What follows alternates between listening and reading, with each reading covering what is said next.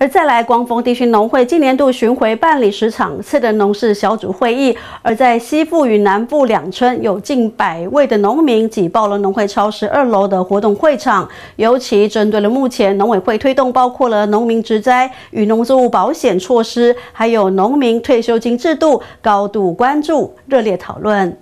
光丰地区农会总干事张明发亲自进行农会会务报告以及相关农政业务政策的宣导以外，也特别邀请乡公所公部门、地方县议会议员与会和农民面对面沟通协调。之后，呃，再给杨敏会。全程参与的乡长林清水，除了详细回复说明原住民保留地相关问题，另外部落农水路的强化与改善，与会的县议员蔡义进表示，目前也都在争取推动。执行中，希望协助建构部落族人一个安全的农路交通。那在各地方的农路还有基础设施的部分，蓝们虽然今年呢不是在农业小组，但是蓝们呢前面第一年、第二年都一直在农业小组，那也非常努力的在协助在。争取不管是中央或者是我们县府的经费，以及呢跟我们的地方农会还有公所的大力的配合。这是光丰地区农会倒数最后第三场次的农事小组会议，西富与南富两村小组长杨金兰主持，将近百位农民参加，现场座无虚席。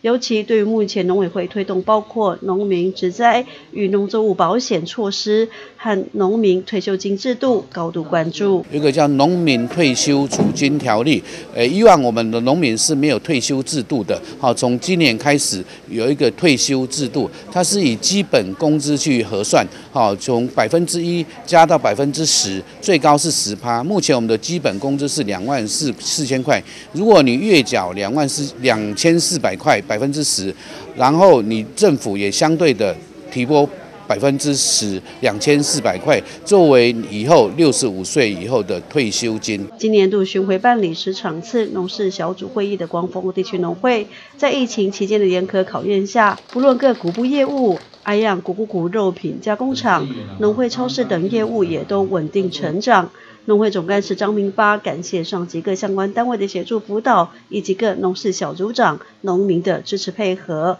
农会也特别赠送月历纪念品，并发送每人一包白米，为了感谢。记者石玉兰、光复采访报道。